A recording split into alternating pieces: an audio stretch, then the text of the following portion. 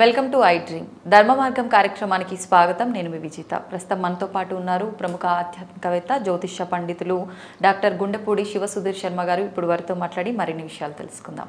నమస్కారం అండి. శ్రీమాత్రే నమ శ్రీ గురుభ్యో నమ. హారాలపైన జడలపై వే- పెట్టుకునే వాటిపైన ప్రతి ఒక్క దానిపైన ఈ దేవుడు అని లేదు ఎవరికి నచ్చిన దేవుడిని వాళ్ళు వేసేస్తున్నారు. కరెక్టే అంటారా? నిజంగా మాట చెప్పాలంటే మళ్ళీ దీంట్లో మళ్ళీ మార్వాడిసి తీసుకురావాల్సి ఉంటుంది. మళ్ళీ దీంట్లో కూడా. వాళ్ళు డబ్బులు పెట్టుకున్నటువంటి పర్సు కూడా బ్యాక్ పాకెట్లో పెట్టుకోరు. పెట్టుకోరు. తప్పనిసరిగా. ఇక్కడే పెట్టుకుంటారు డబ్బులు. వాళ్ళు అసలు వాలెట్లు తొందరగా మెయింటైన్ చేయరు. ఇక్కడే పెట్టుకుంటారు. లేదా ముందు పాకెట్లో పెట్టుకుంటారు. మనం బ్యాక్ పాకెట్లో కూడా పెట్టుకోరు. అంటే పవిత్రంగా ఉండాలి లక్ష్మీదేవి అని చెప్పడం వాళ్ళ పరమార్థం. అలాంటిది మనం ఆ వడ్డాణాలు పెట్టుకొని ఇంటికి వచ్చేటువంటి పది మంది నానా రకాలుగా ఉంటారు. వాళ్ళందరూ ముట్టుకుంటూ ఉంటారు. మనం నిజంగా చాలామంది మన డోర్ మీద కూడా దేవుడి విగ్రహాలు పెడుతుంటారు. అవి కూడా పనికిరావనే చెప్తాం మనం ఏ విధంగా ఉంటే ఆ విధంగా పోయి ముట్టుకుంటుంటాం కదా. డోర్ ఓపెన్ చేయాల్సిన పరిస్థితే కదా. ముట్టుకున్నప్పుడు మరి అక్కడ మన దగ్గర ఉండేటువంటి నెగిటివ్ వెళ్తుంది కదా. మనం డోర్ వేసి బయటికి వెళ్ళేటప్పుడు దండం పెట్టుకొని వెళ్ళిపోతాను అంటే ఆ నెగిటివే మనకి ఇస్తుంది కదా మళ్ళీ. పాజిటివ్ ఉండదు కదా మరి. మన దగ్గర నుంచి వెళ్ళే నెగిటివ్. విగ్రహం ఏంటి? Attractive power. దాని దగ్గర ఎక్కువగా ఉంటుంది. మన దగ్గర నుంచి నెగిటివ్ వెళ్ళినప్పుడు మళ్ళీ మనం దండం దండం పెట్టుకున్నప్పుడు దాని దగ్గర నెగిటివే వస్తుంది కానీ పాజిటివ్ రాదుగా. అవును. సో అక్కడ గడప మీదే పనికిరాదు మన తలుపుల మీదే పనికిరాదు అన్నప్పుడు ఇట్లాంటి చూడ ఎలా మనకు వస్తుంది? కదా? మనం నగలు నగల్లాగా చూడాలి కానీ దేవుళ్ళని మెళ్ళో వేసుకొని తిరుగుతాము అంటే దేవుళ్ళని మెళ్ళో వేసుకొని తిరిగేంత పవిత్రత ఉన్నప్పుడు తప్పనిసరిగా వేసుకోవచ్చు. ఆడవాళ్ళకి నానా రకాల ఇబ్బందులు ఉంటాయి. మనకు మనం బాగానే ఉంటారు. వేసుకున్నవాడు బాగానే మంచి రోజుల్లోనే వేసుకుంటారు. అవతల వచ్చేటువంటి వ్యక్తులు ఎలా ఉన్నారు మీకు ఎలా తెలుస్తుంది. నిజంగా ఇవాళ రోజు నిజంగా చెప్తున్నాను ఒక దరిద్రమైనటువంటి ఒక సంప్రదాయం ఉంది. ఆడవాళ్ళు ఇంట్లోకి రాకూడని రోజుల్లో కూడా పెళ్ళిళ్ళకి గృహప్రవేశాలకి ఫంక్షన్స్కి యథావిధిగా వెళ్ళిపోతూ అక్కడ జరిగేటువంటి కార్యక్రమాన్ని మొత్తం మైలపరుస్తున్నటువంటి రోజులు కూడా ఉన్నాయి. చాలా చోట్ల చూస్తున్నాను నేను. అలా జరిగిన ఒక పెళ్ళి పెళ్ళైన మూడు నెలల్లో ఇద్దరు విడిపోయారు భార్యాభర్త. సొంతం పెళ్ళి కొడుకు అక్క. ఓకే. అలాంటి సమయంలో అక్కడికి పెళ్ళిలోకి వచ్చింది. యథావిధిగా అందరితో మామూలుగా నార్మల్గా తిరుగుతూనే ఉంది. భుజాల మీద చేతులు వేసుకుంటూ ఫోటోలు దిగుతూ అంతా చేస్తూనే ఉంది. ఆ పెళ్ళి ఏమైంది మూడు నెలలే. కానీ నాకు ఒక చిన్న డౌట్ ఇప్పుడు పెళ్ళి అని అంటే వాళ్ళిద్దరు జాతకాలు చూసి అన్ని కలిస్తే మ్యాచ్ చేసి ఆ- ప్రకారంగా చేస్తారు కదా ఇలా ఏమి వచ్చినంత మాత్రాన విడిపోతారా? ఓ మాట చెప్పానంటే లవ్ మ్యారేజ్లకి జాతకాలు గీతకాలు ఎక్కడ ఉన్నాయి అది లవ్ మ్యారేజా ఓకే. సో దాంతో ఏమైంది పరిస్థితి? లవ్ మ్యారేజే జాతకాలు చూసుకోకుండా చేసుకుంటున్నారు ఇది అనుకుంటుంటే. అలాంటిది ఈ ఇలాంటి సన్నివేశాలు జరుగుతూ ఉన్నప్పుడు ఇంకా ఘోరంగా తయారవుతుంది కదా. అక్కడ ఉండేటువంటి పవిత్రత మంగళగౌరి అమ్మవారు ఉంటుంది రాముడు సీతా లక్ష్మణుడు విగ్రహాలు ఫోటోలు పెడతారు. చక్కగా మంత్రాలు వేద మంత్రాలు చదువుతారు మహాసంకల్పం చదువుతారు కన్యాదాన మంత్రాలు చదువుతారు. పెళ్ళిలో మాంగళ్యం తంతనానే అనే ఒక పవిత్రమైనటువంటి మంత్రం చదువుతున్నాం. ఇవన్నీ అపవిత్రం చేసుకుంటూ అన్నీ చేసుకుంటూ అలాంటి వాళ్ళు అసలు మంత్రమే వినకుండా దూరంగా కూర్చుంటారు. అవును? అలాంటిది మొత్తం పెళ్ళి మొత్తం ఆమె గందరగోళం చేస్తుంటే పెళ్ళి గందరగోళంగా ఇంకేమవుతుంది? అంతే. మా వధూవరులనే దేవుళ్ళుగా భావించి కళ్యాణం అక్కడ మనం ఏం చెబుతాం? లక్ష్మీనారాయణ స్వరూపవరాయ. సాక్షాత్ శ్రీ మహాలక్ష్మీ స్వరూపిణే వరి. అమ్మాయిని మహాలక్ష్మి స్వరూపంలో అబ్బాయిని మహావిష్ణు స్వరూపంలో చదువుతున్నాం మనం. మహావిష్ణు స్వరూపస్య వరస్య అని చెప్పి ఆయన కాళ్ళు కడుగుతున్నారు మహావిష్ణు అని అల్లుడు గారు. మరి వాళ్ళిద్దరే మైలు ఉంటే వాళ్ళిద్దరే మైలు చేస్తూ ఉంటే ఇంకా అక్కడ మంత్రాలు అపవిత్రం అయిపోతూ ఉంటే ఇంకేం చేస్తాం మనం. ఇలాంటివి కూడా చేస్తున్నారు. చాలా చాలా జాగ్రత్తగా ఉండడం అనేది కరెక్ట్. మరి అలాంటి సమయంలో పెళ్ళికి వచ్చింది. వడ్డాణం పెట్టుకుంది నగలు వేసుకుంది వాటి మీద అష్టలక్ష్ములు ఉన్నాయి చక్కగా. ఏమవుతుంది? ఆహా ఈ రోజుల్లో అవన్నీ. ఈ రోజుల్లో ఏంటి? ఒక మూలం పూర్వీకులు ఒక శాస్త్రం ఒక ధర్మం అనేది ఒక ఆచారం అనేది పెట్టారు అంటే దాంట్లో ఎంతో గొప్ప సైన్స్ ఉంటుంది. ఆ సైన్స్ మనం కనుక్కోకుండా వాడి రోజున ఆధునికత అనేటువంటి ఒక పేరుతో ఆ ఏముంది ఒట్టి ట్రాష్ అని పక్కన పడేస్తున్నాం కానీ ఆ ట్రాష్లోనే మనం ట్రాష్ అయిపోతున్నాం క్రష్ అయిపోతున్నాం అనే సంగతి మాత్రం ఎవరు ఆలోచించగల అవును. మొత్తం క్రషే. కదా? ఇది ఆలోచించాల్సిన విషయం. అలాంటి చోట వాళ్ళు పిలిచినా సరే ఇబ్బందికరమైనటువంటి రోజుల్లో వెళ్ళడం మంచిది కాదు వెళ్ళకూడదనే వెళ్ళాల్సి వస్తే దూరంగా ఉంటే పర్వాలేదంట అసలు అది కూడా వద్దనే చెప్తాను దూరంగా ఉన్న ఎవరో కూడా ముట్టుకుంటారు కదా. టక్కన భుజం మీద చేస్తారు వాళ్ళతో చెప్పుకోలేరు. ఇట్లాంటివి ఆడవాళ్ళు బయటికి చెప్పుకోలేరు. ఆ పరిస్థితులు ఏమవుతుంది? అది కరెక్ట్ కాదు కదా. దానికన్నా వెళ్ళకుండా ఉండండి. మీ ఇబ్బంది ఏదో చెప్పండి చెప్పుకోండి. ఓ అంత మనం వెళ్ళకపోతే పెళ్ళి ఆగిపోయేంత పరిస్థితి అయితే కాదు కదా. అక్కడ సాక్షాత్ పూర్వకాలంలో ఇలాంటివి ఏమైనా జరిగితే ముందుగా ఆ ఇంట్లో ఇబ్బందులు ఏమైనా ఉన్నాయని చెప్పి చూసుకొని డేట్ పెట్టుకునేవాడు ముహూర్తం. పెళ్ళి ముహూర్తం ఇంట్లో ఆడవాళ్ళు ఉన్నారు వీళ్ళకి ఏమైనా ఇబ్బందులు ఉన్నాయా? ఏ సమయంలో ఉన్నాయి? ఆ డేట్లు ఆ సమయం కాకుండా వేరే ముహూర్తం చూసుకొని పెట్టుకునేవాళ్ళు. ఒక్కోసారి పెళ్ళి కూతురు ఒకవేళ అలాంటి పరిస్థితుల్లో ఉంటే పెళ్ళి ఆగిపోయేది అంతే. అంతే దాంట్లో అనుమానమే లేదు. ఇప్పుడు చచ్చిపోయినా కూడా చావుని దాచిపెట్టి మరి పెళ్ళి చేస్తున్నారు. పెళ్ళి ఖర్చులు వేస్ట్ అయిపోతాయి. అవునవును. ఇప్పుడు ముహూర్తాలు పెడుతున్నారు. దేనికి అంటే వీళ్ళకు ఎప్పుడు సెలవులు ఉంటాయి ఉద్యోగరీత్యా చూసి పెడుతున్నారు. ఇప్పుడు చూడండి మనకి తెలంగాణలో కావచ్చు ఎక్కడైనా సరే సండే ముహూర్తాల సీజన్ వచ్చిందంటే సండే రోజు ఉన్నంత ట్రాఫిక్ విడి రోజుల్లో కూడా ఉండదు. ఎందుకంటే సండేనే ముహూర్తం కావాలి మాకు. ఒకరోజు సెలవు సేవ్ పెళ్ళికి వచ్చేవాడు ఎక్కడ ఆశీర్వదిస్తున్నాడు మనస్ఫూర్తిగా. వస్తాడు సండే రోజున ఇప్పుడు నేనే ఉన్నాను నాకు పది పది మంది పెళ్ళిళ్ళకి పిలిచారు నన్ను. ఏదో చూడటానికి ఆ అక్షతలు వేయడానికి అని. ఇక్కడికి వస్తా ఒక ఇడ్లీ తింటా రెండు అక్షతలు వేస్తా. ధూమ్ అక్కడ నుంచి వెళ్ళిపోతా. మళ్ళీ ఇంకో చోటుకి వెళ్తా. ఇంకో చోట ఏదో కొద్దిగా ఉప్మా తింటా రెండు అక్షతలు వేస్తా వెళ్ళిపోతా. చివరికి మొత్తం పదో పెళ్ళిలో అక్కడ లంచ్ చేస్తాడు వీడు. మనస్ఫూర్తిగా పెళ్ళి కూర్చొని చూడటం ఆశీర్వదించడం ఏం లేదు. పెళ్ళి మొత్తం అయిన తర్వాత ఆశీర్వచనం. ఇప్పుడు ఇంకోటి కూడా పెళ్ళిళ్ళ మధ్యలో అంటే వేరే కాన్సెప్ట్కి వెళ్ళిపోతున్నాం మనం. కానీ పెళ్ళిళ్ళ మధ్యలో జీలకర్ర బెల్లం పెట్టగానే సోఫా వేసి కూర్చోబెడతారు. అవును. అది పరమ దరిద్రం. మంగళసూత్రం కట్టకుండా అక్షతారోపణ తలంబరాలు పోయకుండా భార్యాభర్తలు పూర్తిగా ఎక్కడ అవుతున్నారు వాళ్ళు అవ్వరు కదా? అవ్వనప్పుడు మరి మధ్యలోనే ఏమైనా ఆశీర్వదిస్తావు. ఏమైనా ఆశీర్వదిస్తాం వాళ్ళిద్దరిని? దాంపత్య సుఖజీవన సిద్ధిరస్తు అని చెప్పి మనం చెప్పలేదు దీర్ఘ సుమంగళ్యాభివృద్ధిరస్తు అని అమ్మాయికి చెప్పలేంగా? అవును. మరి చెప్పలేనప్పుడు ఎట్లా ఆశీర్వదిస్తాం? ఏమని ఆశీర్వదిస్తాం మనం? ఊరికి అక్షతలు వేసేసి వెళ్ళిపోతామా అంతే. కాదు ఎవరు ఆశీర్వదిస్తున్నారండి? ఊరికే. మీరు అక్షతలు వేయాలి అని అంటే ముందు వేస్తారు వేసిన తర్వాత మళ్ళీ ఫోటో ఫోటోగ్రాఫర్ కోసం ఇంకో స్టిల్లు. అంతే. లేనిపోని నవ్వు పులుముకొని మరి. వాళ్ళని ఆశీర్వదించాలంటే వాళ్ళు ఒక అధికారం రావాలి కదా వాళ్ళిద్దరు దంపతులు అవ్వాలి. ఎక్కడ అవుతున్నారు దంపతులు? పరిపూర్ణంగా మంగళసూత్ర ధారణ అయిన తర్వాత అక్షతారోపణ అయిన తర్వాత అరుంధతి నక్షత్రం చూసి వచ్చిన తర్వాత వాళ్ళిద్దరిని కూర్చోబెట్టి అందరూ అక్షతలు వేస్తే అది దాంపత్య జీవితం వాళ్ళిద్దరిది. అలా కాకుండా జీలకర్ర బెల్లం పెట్టగానే ఏ వెళ్ళిపోతారు వెళ్ళిపోతారు. బ్రాహ్మడు ఈ అక్షతలు వేసే సమయంలో ఇంకో పెళ్ళి చేయించుకొని రావచ్చు. ఆ గ్యాప్లో. పెద్ద ఐదారు గంటలు పడుతుంది అక్షతలు వేయడానికి పెద్ద క్యూ. అవును. ఈ క్యూ మొత్తం అంటే ముందే స్టార్ట్ చేస్తే ఈలోపు తినేసి వస్తారు. ఇక్కడ తిరగడము ఇదంతా అయిపోయి నక్షత్రం చూసి వచ్చేలోపు వీళ్ళు తినేస్తారు. తినేస్తారు. పోనీ తిన్న తర్వాత ఆశీర్వదించిన మరలేదు. అంతేగాని వీళ్ళు మధ్యలో ఏమైనా ఆశ- ఆశీర్వదిస్తారు దీర్ఘ సౌమ్యంగా అభివృద్ధిస్తాంటారా ఏమైనా ఆశీర్వదిస్తారు? ఏం చేయలేరు కదా. దానివల్ల ఈ ఆశీస్సులు కూడా ఫలించమని చెప్తాను నేను. అంటే జీలకర్ర బెల్లం పెడితే పెళ్ళి అయిపోయినట్టే ఇంకా అని చెప్పి అంటుంటారు మంగళసూత్ర ధారణ దేనికి మరి? అట్లాంటప్పుడు పెళ్ళి అయిపోయినప్పుడు అనుకుంటే? అందుకనే కదా అంటే వాళ్ళ భావన అలానే ఉంటుంది కాబట్టి టైం కి జీలకర్ర బెల్లం అన్న పెట్టాలి అయిపోయినట్టే పెళ్ళి అని మంగళసూత్ర ధారణ కావాలి కదా. కాకుండా భార్యాభర్తలు ఎలా అవుతారు? తలంబ్రాలు పోసుకోవాలి కదా. కాకుండా ఎలా భార్యాభర్తలు అవుతారు? అరుంధతి నక్షత్రం చూడాలి కదా. అది చూడకుండా ఎలా భార్యాభర్తలు అవుతారు? మొత్తం పరిపూర్ణంగా వివాహం అయిన తర్వాత అప్పుడు భార్యాభర్తలు అవుతున్నారు వాడు అవ్వకముందు మధ్యలోనే అన్నం కూడా రోజు సగం ఉండేసి దింపేసి తినమనండి. పొయ్యి మీద పొయ్యి పెరిగి ఇచ్చాం నీళ్ళు పోసాం. అంతే కదా?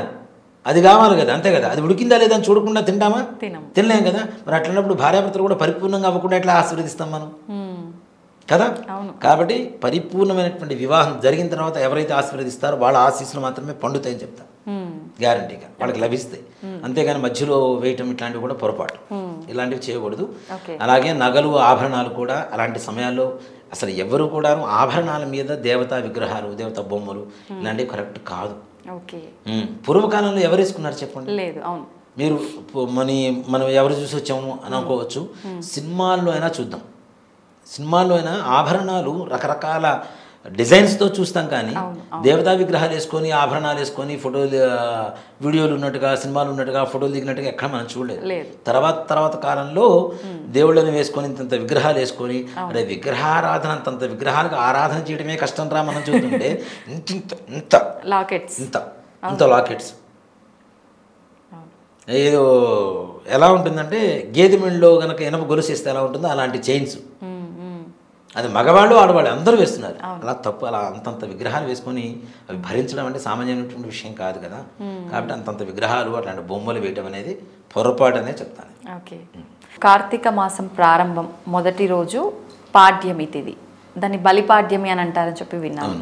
ఏంటి ఈ బలిపాడ్యమి ప్రత్యేకత? ఆ రోజు ఆచరించాల్సిన విధి విధానాలు ఏంటి? తెలియజేయండి. బలి చక్రవర్తి అనే కథ చాలా మందికి తెలిసినటువంటి కథ. వామనమూర్తి బలి చక్రవర్తి మహావిష్ణువు అనేటువంటిది అందరికీ తెలిసినటువంటి కథ. ఈ వామనమూర్తి బలి చక్రవర్తి దగ్గర మూడు అడుగులు అడిగి తీసుకున్నటువంటి రోజే బలి చక్రవర్తి పాడ్యమి బలి పాడ్యమి అని పిలుస్తూ ఉంటాం మనం. ఓకే. అంటే ఇప్పుడు శ్రీరామనవమి ఎలా చేస్తాం? దీపావళి ఎలా చేస్తాం? దసరా విజయదశమి ఒక్కొక్క తిథికి ఒక్కొక్క రకమైనటువంటి ప్రత్యేకత మన హిందూ సంప్రదాయంలో మన ధర్మంలో ఉంది. పిల్లలకి దాన గుణం అనేటువంటిది నేర్పాలి అనేటువంటి కథే ఈ బలి చక్రవర్తి కథ బలి పాడ్యమి కూడా. ఓకే. కార్తీక మాసం కార్తీక పురాణం ముప్పై రోజులు ముప్పై కథలు ఉంటుంది. ఒక్కొక్క రోజు ఒక్కొక్క వస్తువుని దానం చేయండి అని చెప్పి ముప్పై రోజులు కూడాను ఒక్కొక్క వస్తువు మనకు సూచిస్తూ ఉంటారు కార్తీక పురాణం ప్రకారం. అవి దానం చేస్తూ ఉంటారు చాలామంది కూడా. అలాగే కార్తీక పురాణానికి సంబంధం లేనటువంటి బలిపాడ్యమి అనేటువంటిది కూడా చాలా విశేషమైనటువంటి రోజు.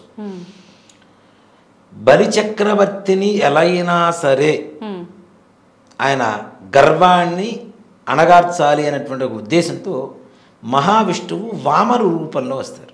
ఓకే. వామనుడు అంటే చాలామంది అంటే పొట్టిగా ఉంటాడు కాబట్టి వామనుడు అనుకుంటారు కానీ ఆయన పొట్టిగా అవతరించాడు. కాబట్టి వామనమూర్తి. ఓకే. ఈ వామనమూర్తి ఓ మాట చెప్పండి దేవాలయాలు చాలా తక్కువ ఉన్నాయి చాలా తక్కువ ఉన్నాయి నేను కంచిలో చూశాను. కంచిలో ఈ వామనమూర్తి బలిచక్రవర్తి దేవాలయం ఉంటుంది అసలు. చూస్తే అమ్మ బాబోయ్! అనిపిస్తుంది. అంత బాగుంటుంది విగ్రహం కూడా. అది చాలా లోపలకు ఉంటుంది. ఒక అక్కడ గైడ్ ఒక అతను శ్రీనివాస్ అని ఒక అతను ఉంటాడు. ఇప్పటికి రెగ్యులర్గా అతన్నే టచ్ చేస్తుంటాను ఎప్పుడు వెళ్ళినా. ఏదైనా నాకు కావాలన్నా అక్కడి నుంచి ఫోన్ చేస్తే పంపిస్తుంటాడు పాపం. ఆ వ్యక్తి తీసుకెళ్ళి గురుగారు మీరు ఇది చూడాల్సింది తప్పనిసరిగా. ఆ, వామనమూర్తి దేవాలయం ఉంది. రాండి అని చెప్పి వెళ్తుంటారా అక్కడికి? నేను కంచి వెళ్తుంటాను అమ్మా ఎక్కువగా. కంచి బాగా వెళ్తుంటాను. నాకు దర్శనం కానివ్వండి అమ్మవారి ప్రసాదం కానివ్వండి అమ్మవారి చీర కావాలన్నా సరే తను కొనుక్కొచ్చి మళ్ళీ నాకు పార్సల్ చేసి పంపిస్తాడు. అక్కడి నుంచి అక్షతలు కావాలంటే పంపిస్తాడు దర్శనానికి పంపిస్తుంటాడు. చక్కగా మనకు తెలిసిన వాళ్ళు ఎవరైనా ఉన్నా సరే నేను అటువైపు వెళ్తున్నానంటే ప్రతిరోజు నేను శుభోదయం పెడుతుంటా చాలా మందికి నేను పెట్టకపోయినా పెట్టినా శుభోదయం పెట్టేటువంటి ఒక వ్యక్తి ఆయన నాకు. కంచిలో. గైడ్ జస్ట్ నేను కార్ ఆపుకొని ఉంటే వచ్చాడు. మీకు గైడ్ అవసరమా? నేను చూపిస్తాను అని అన్నాడు. వచ్చి రాని తెలుగు తమిళ్ తెలుగు ఉంటుంది కదా. తెలుగు మానే మాట్లాడుతుంటారు పర్లేదు. తను తీసుకెళ్ళి చూపించాడు ఫస్ట్ టైం ఇంకా అప్పటి నుంచి కంచి వెళ్ళినప్పుడల్లా తనకి ముందు ఫోన్ చేస్తాను. తనే హోటల్ రూమ్ బుక్ చేస్తాడు. మొత్తం చేసి పెడుతుంటాడు. తను రాణి గురుగారు చూపిస్తాను. మంచి గుడి ఉంది ఒకటి. అని చెప్పి తీసుకెళ్ళి చూపించాడు. చూస్తే లోపల అమ్మా బాబు నేను మొట్టమొదటిగా వామనమూర్తి దేవాలయం చూసింది అక్కడికి. అంత పెద్ద విగ్రహం ఉంటుంది. నల్లగా నూనె రాసి ఉంటారు ఆ విగ్రహాన్ని కూడా. బలి చక్రవర్తి అంటే ఆ కాలు ఇప్పుడు వామనమూర్తి అంటే మనం మామూలుగా వామనుడు ఇట్లా పెట్టి చూస్తాం. కాదు ఒక కాలు కింద ఒక కాలు పైకెత్తినటువంటి వామనమూర్తి విగ్రహం అది. అది చెక్కిన వాళ్ళకి అసలు అనుకోవాలి. అది కొండకే చెక్కారు అనేది నా అనుమానం. దేనికంటే గోడకు ఆనుకొని ఉంటుంది ఆ విగ్రహం కూడా మొత్తం కొండ రాయికి. రాయికే చెక్కేశారు దాన్ని. ఎంత బాగుంటుందంటే ఒక కాలు పైకి ఎత్తుంటాడు ఆకాశం మార్గం ఆకాశం వైపుకి ఇప్పుడు భూమి మీద ఉంటుంది. అలాంటి విగ్రహం చెక్కడం సర్వసాధారణ విషయం కాదు. అవును. అంత పెద్ద విగ్రహం. అవును అవును. మరి ఆయన పొట్టివాడు అని అన్నారు కదా అంత పెద్ద విగ్రహం ఎందుకని? అంటే ఆయన బలి చక్రవర్తి దగ్గర దానానికి వస్తాడు. నాకు దానం కావాలి అంటాడు. ఏం కావాలి అంటే మూడే మూడు అడుగులు దానం కావాలి నాకు చాలు. దాంతో మించి స్థలం వద్దు మూడు అడుగులు స్థలం కావాలని అడుగుతాడు ఆయన. అంటే సరే ఈయన ఉన్నదే ఎంత ఉన్నాడు? మూడు అడుగులు ఎంత ఎక్కడ పెడతాడు? ఇస్తే సరిపోతుంది అని చెప్పి ఈయన బలి చక్రవర్తి దానం చేస్తాడు. ఒక అడుగు మొత్తం భూమి మొత్తం మీద సరిపోతుంది. ఒక అడుగు మొత్తం వామనమూర్తికి. ఒక అడుగు ఆకాశం మొత్తం సరిపోతుంది. మరి మూడు అడుగు దానం చేయాలంటే ఏం చేయాలి? ఆ. బలి చక్రవర్తి నా నెత్తిని పెట్టు ఈ శిరస్సు నాకు తీసుకో అని చెప్పి ఇస్తాడు అనమాట. ఆ మూడో అడుగు ఆయన శిరస్సు మీద వేసి ఆయన గర్వాన్ని అనుస్తాడు ఆయన. ఓకే. బలి చక్రవర్తి గర్వాన్ని అనుస్తాడు. అందుకే ఎత్తి పెట్టారేమో కాలు. కాలు ఎత్తి పెట్టిండు ఒకటి భూమి ఒకటి ఆకాశం. మూడవది బలి చక్రవర్తి శిరస్సున. సో ఈ కథని బలి చక్రవర్తి కథ ఉంటుంది మనకి చక్కగా దొరుకుతుంది. పుస్తకాలు దొరుకుతాయి యూట్యూబ్లో దొరుకుతాయి. బలిపాడ్యమి రోజున వామనమూర్తికి పూజ చేసి ఓకే. చక్కగా బలి చక్రవర్తి కథ వింటే మన పిల్లలకి దానగుణం అనేటువంటిది మనం అందజేయటం ఒకటి ఉంటుంది. అలాగే వామ వామనమూర్తి యొక్క పరిపూర్ణమైనటువంటి అనుగ్రహం ద్వారా మనం సంపాదించుకున్న దాంట్లో మనం తినగా మిగిలింది దానం చేసేటువంటి గుణం మనకు అబ్బుతుంది. దానం చేసేంత ద్రవ్యం కూడా మనకు లభిస్తుంది. మరి ఇప్పుడు అంటే ఆయన చిత్రపటాలు ఎవరి దగ్గర ఉండవు కదా? ఏ రకంగా చేయాలి ఎందుకు? ఉంటాయి. చక్కగా ఉంటాయి? చాలా చాలా చోట్ల ఉంటాయి. ఇప్పుడు దశావతారాల్లో వామనమూర్తి ఒక అవతారం. విష్ణుమూర్తి దశావతారాల్లో వామనమూర్తి ఒక- అవతారం. చక్కగా ఎలా ఉంటాడంటే తాటాకు గొడుగు పట్టుకొని ఇంతే పొట్టిగా ఉంటారు ఆయన. తాటా గొడుగు పట్టుకొని పావుకోళ్ళు వేసుకొని చక్కగా పాదుకలకి క- దండక మండలాలు పట్టుకొని ఒక బ్రహ్మచారి పిల్లవాడు ఒక విద్యార్థి పిల్లవాడు ఏ విధంగా ఉంటాడు చక్కగా శిఖ పెట్టుకొని గుండుతో శిఖ పెట్టుకొని మంచి పుటలు తిరుగుతాయి. ఆయన చూస్తే ఆది శంకరాచార్య స్వామి చూస్తే ఎంత మనకి భక్తి భావన కలుగుతుందో వామన వృత్తిని చూసినా కూడా అంతే కలుగుతుంది. అంత భక్తి భావన కలుగుతుంది. ఆయన చూడగానే ఒక కృష్ణుడు చూసి చాలా మంది ప్రేమలో పడిపోతుంటారు కదా. ఆయన చూస్తే ఒక ముగ్ధమోహన సౌందర్య రూపం అన్నమాట ఆయనది. అంత వశమైపోతుండే వామనమూర్తికి చాలా మంది పొట్టిగా ఉండే వాళ్ళందరినీ కూడా వామనమూర్తి వామనమూర్తి అంటారు. పొట్టివాళ్ళు గట్టివాళ్ళు అని చెప్పేది ఆయన దగ్గర నుంచి వచ్చింది అసలు. ఓకే. మన దేశాన్ని పివి నరసింహారావు గారు కూడా అంతే కదా. చాలా హైట్ తక్కువ ఉండేవారు. కానీ పొట్టి వాళ్ళకి గట్టి వాళ్ళు అని చెబుతుంటారు ఎక్కువ బుర్ర ఎక్కువ ఉంటుందని చెబుతుంటారు అంటే ఆలోచన విధానం ఎక్కువగా ఉంటుంది వాళ్ళది. సో అలా అని చెప్పి పొట్టిగా ఉంటే ప్రతి ఒక్కళ్ళు అలా ఉంటారని కాదు నేను చెప్తోంది. అంటే వాళ్ళ దగ్గర ఎక్కువ శక్తి యుక్తులు ఎక్కువగా ఉంటాయి. బ్రతక నేర్చిన తెలివితేటలు ఉంటాయి. చావు తెలివితేటలు ఉండవు. బ్రతక నేర్చిన తెలివితేటలు ఉంటాయి ముఖ్యంగా. కాబట్టి ఈ వా బలి చక్రవర్తి కథ వింటే తప్పనిసరిగా వామనమూర్తి పూజ చేయాలి తప్పనిసరిగా. వామన అష్టోత్తరం ఉంది. అసలు వామన జయంతి కూడా ఉంది. దశావతారాలకి ప్రతి అవతారానికి ఒక జయంతి ఉత్సవం ఉంది. అలాగే ఈ వామన బలి చక్రవర్తుల కథ విని అక్షతలు శిరస్సును దాల్చుకుంటే ఆయనకి పూజ చేసిన తర్వాత తప్పనిసరిగా పిల్లలకి మనకి దానం ఏదైనా కావచ్చు అన్నదానం కావచ్చు వస్త్రదానం కావచ్చు ధనం కావచ్చు ధాన్యం కావచ్చు అన్నం కావచ్చు ఏదైనా సరే దానం ఇచ్చేటువంటి శక్తిని మనకి ప్రసాదించేటువంటి లక్షణాలు వామనమూర్తి దగ్గర మెండుగా ఉంటాయి. ఆయన తీసుకున్నాడు కదా ఆయనకి పూజ చేస్తే ఎట్లా వస్తుంది అంటే మనకి ఎలా ఇవ్వాలో నేర్పించిన ఆయన ఆయన. బలి చక్రవర్తి దగ్గరికి వెళ్ళి దానం ఎలా ఇవ్వాలో ఇలా ఇవ్వగలుగుతామో ఎంతవరకు ఇవ్వగలుగుతామో ఎంతవరకు ఇవ్వాలో ఎంతవరకు ఏది ఇవ్వకూడదో నేర్పించేటువంటి తత్వం ఉన్నటువంటి వాడే వామనమూర్తి. వామనమూర్తి. కాబట్టి ఆ వామనమూర్తికి పూజ చేస్తే పిల్లలకి మంచి భవిష్యత్తు కలుగుతుంది. అలాగే నిజంగా పిల్లలు చదువు రానటువంటి చదువుకోలేనటువంటి పిల్లలు ఉంటారు చూడండి. ఈ బలి పాడ్యమి రోజున ఎవరికైనా బీద పిల్లలకి పుస్తకాలు చదువుకోవడానికి సహాయం చేయండి. తప్పనిసరిగా మీ పిల్లల చదువు కూడా మంచిగా ఉంటుంది. ఒక అనాథర పిల్లలు కావచ్చు బీదగా ఉండేటువంటి బాగా పేదరికంలో ఉండేటువంటి విద్యార్థులు కావచ్చు. నిజంగానే పిల్లలు పుస్తకాలు లేక చదువుకోలేని వాళ్ళు చాలా మంది ఉన్నారు. సో అలాంటి వాళ్ళకి పుస్తకాలు అందించండి తప్పనిసరిగా. అటువంటి వాళ్ళకి ఇంట్రెస్ట్ ఎక్కువగా ఎక్కువ ఉంటుంది మరి మనం ఇంతగా చెప్పుకుంటున్న అబ్దుల్ కలాం గారు ఎంత కష్టపడి చదువుకున్నారా? అవునా? కొంతమంది ఐఏఎస్ ఐపీఎస్లు కూడా దీపాల కింద కూర్చొని చదువుకున్న వాళ్ళు ఎంతమంది ఉన్నారు? వాళ్ళ రోజు అన్ని వసతులు వచ్చినా కూడా చదువుకోకుండా పుస్తకాల పక్కన పడేసి సెల్ పట్టుకొని ఆడుకునేటువంటి పిల్లలు చూస్తున్నాం కానీ మరి ఒకప్పుడు ఎంత విద్యకి ఎంత ప్రాధాన్యత ఇచ్చారు? విద్యలో ఇప్పుడు నిజంగా చెప్తున్నా అంటే ఇప్పుడున్న పరీక్షలు ఎగ్జామ్స్ ఇవి కూడా నిజంగా కరెక్ట్. అవును అవును. నాకు తెలిసిన ఒక అమ్మాయి చెప్పాను నేను అంతకుముందు కూడాను. సినిమా స్టోరీ రాసి ఎగ్జామ్ పాస్ అయింది. అవును చెప్పారు మీరు. సినిమా స్టోరీలు సాంగ్స్. ఆ అదృష్టం అది నిజంగా అది రాసిన పాస్ చేశాడు ఇంగ్లీష్ సాంగ్స్ లిరిక్స్ మొత్తం ఎగ్జామ్ రాసింది పాస్ అయింది ఎంబీఏ మరి అంటే వీళ్ళైతే దరిద్రంగా ఉన్నారంటే చదువుకునే పిల్లలు ఆ ఎగ్జామ్ పేపర్ దిద్దిన వాడంత దరిద్రంగా ఉన్నాడు.